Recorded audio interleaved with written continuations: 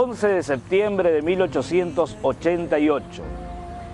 En la madrugada, en Asunción del Paraguay, fallecía Domingo Faustino Sarmiento, hijo de José Clemente Sarmiento y de doña Paula Albarracín, había nacido en febrero de 1811 con la patria en San Juan.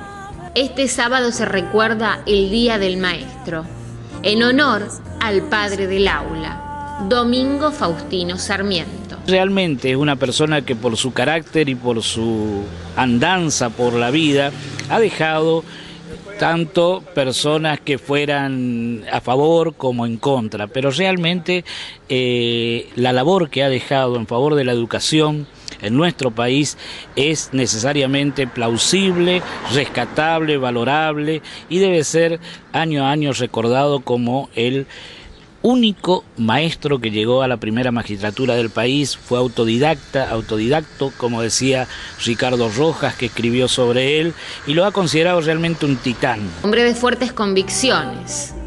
Sarmiento se ganó amores, pero también odios, fruto de sus luchas, con la espada, con la pluma, pero sobre todo con la palabra. En primer lugar, porque era una persona muy, muy peleadora. Peleadora por su carácter. Él era indomable. Entonces le endilgaba al mismo Bartolomé Mitre, que pudo haber considerado ser su amigo, que a él no le quedaban amigos, porque cuando era necesario defender una idea propia, que él, eh, las ideas que tenía eran propias de él, necesariamente hacía triunfar la idea por sobre hasta las amistades.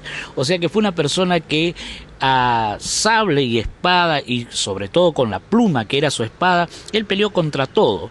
Imagínense, en Buenos Aires, donde él era un advenedizo, peleó a favor de los porteños y después contra los porteños. Fue famosa una sesión del Senado donde un senador porteño le endilga no ser de la aristocracia.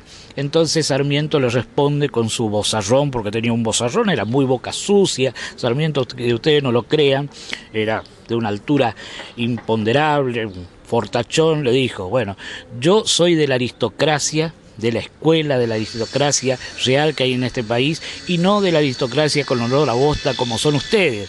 A ustedes se les da vuelta y no se le cae ni una idea. Sarmiento puede considerarse realmente el arquetipo de argentino, argentino y americano.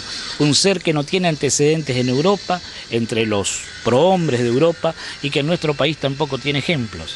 Así que realmente a él se le debe la educación primaria, pública, gratuita, tal cual como la conocemos en nuestro país. Hay mucho por conocer en la vida de este prócer, pero nos queda esa imagen de fundador de escuelas. Hay que educar al soberano, hay que hacer de toda la República una escuela. Y al bajar del sillón presidencial dejó millares, millares de niños en condiciones de mejorar y de progresar en base a las primeras leyes.